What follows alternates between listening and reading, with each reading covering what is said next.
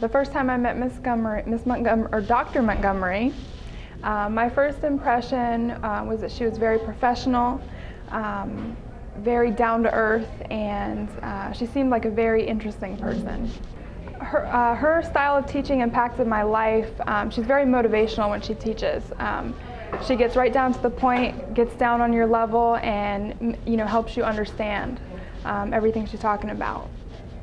Uh, Dr. Montgomery's style of teaching um, differs from my other teachers and professors. Um, she's very organized, very on top of things. She does teach on a level that everybody can understand, and um, she keeps it like personal and helps us, you know, learn uh, on our level.